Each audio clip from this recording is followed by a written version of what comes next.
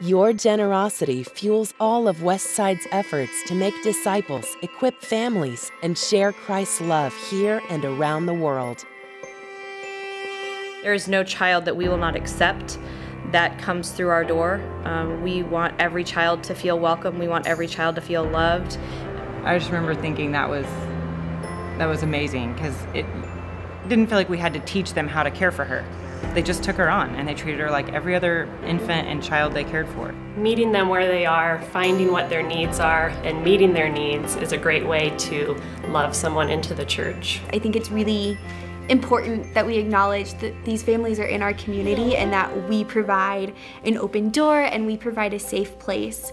It was great that we connected with a dad right away that had another child with Down syndrome, um, so that made us feel more at ease. Uh, we did not know that there was a special needs ministry at all. Um, we walked in and we have an expectation of Molly that um, when she's when she's somewhere like this, that she has full inclusion, and the church was more than accommodating for that, and you know we just love it for that.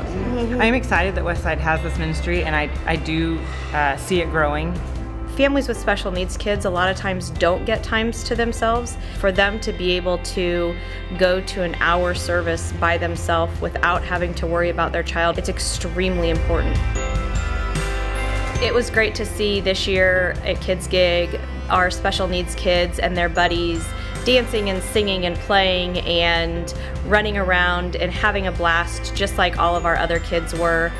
A lot of parents who have special needs don't get a chance to come out uh, to have a night off. They can't just hire the babysitter down the street because their kids have special needs. Our special needs respite night is a night for parents to get out and either get out on a date night for themselves and or take their other children that they have out to do something that maybe they wouldn't be able to do or they can't do because of having a special needs child. I think it helps support our parents during the week and not just on Sunday mornings and I think it also helps us build um, rapport within the community and letting the community know, hey, we're here and we love special needs kiddos and they always have a welcome door at Westside. And I think that's a really important message to get out we've had so many people that made us feel so comfortable with, with her and she's got lots of friends here that love her and we just we just feel comfortable that she can she can be in a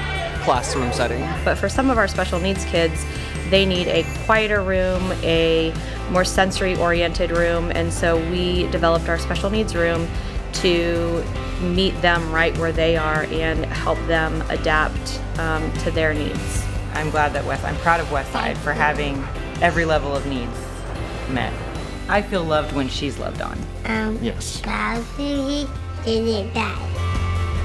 I want to personally thank all of our parents and staff who support our special needs ministry at Westside. It's such a huge blessing to every parent and child who walks in our door.